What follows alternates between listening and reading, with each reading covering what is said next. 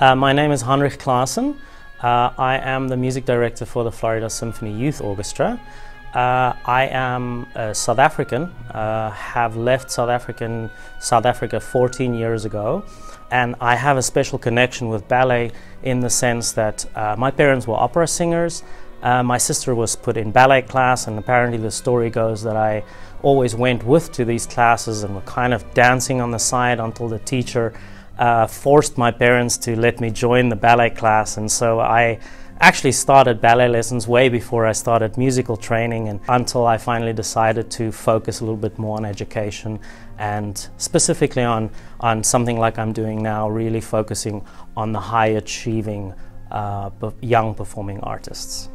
Uh, the Florida Symphony Youth Orchestras uh, consist out of six ensembles and uh, as well as two supplementary uh, programs. Uh, so we have a training string orchestra, which is basically the orchestra for our, our little guys. and that is followed by three symphony orchestras.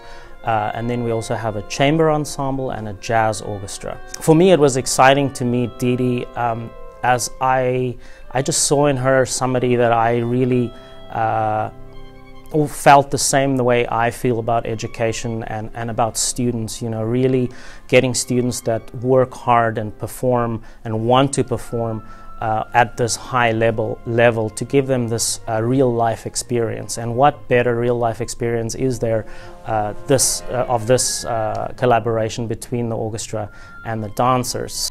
As part of the program, uh, we are offering uh, two big works. Uh, the first will be uh, the Soirees Musicales from uh, Benjamin Britten. It's little snippets of beautiful, adventurous music. Uh, it's a great work for dancers to dance to since it is so characteristically different each piece. Then we will be performing Stravinsky's Divertimento from A Fairy's Kiss.